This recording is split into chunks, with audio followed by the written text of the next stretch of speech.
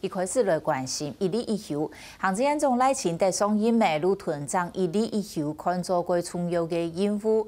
早晨体立法院结束的总质询过后，罗通铺今日路正式依个落基法被修法草案，一个内容包括加班费就实际的时间来算，还个并用每张日加班时数的上限。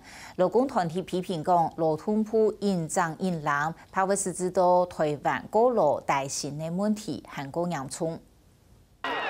比例后对去年是明年的正式公告实施过后，唔但将工商团体反弹，连劳工团体也唔满意。劳动部讲，为了解决劳基法太冇弹性的问题，甚至下注一个劳基法部分条文修正草案，内容包含唔太面向，包含留一下就比例增加加班费，改做就实际来算。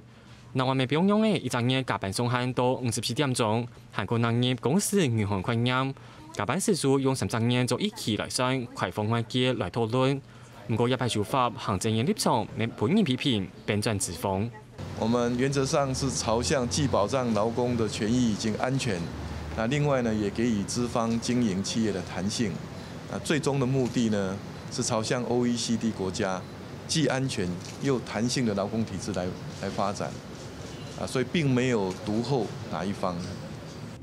第一摆出发当中，劳动部老头摆希望透过用家私控制数量，就比例增加休息日加班费起收的，韩国未增加限制劳工进度加班几多点钟。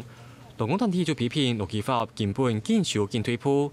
虽然工商团体经反映，有对劳工希望用加班来增加收入，也下制图实在投诉托脚，两摆劳工提过了年级安大问题，是会很难厉害。它的根本问题是低薪。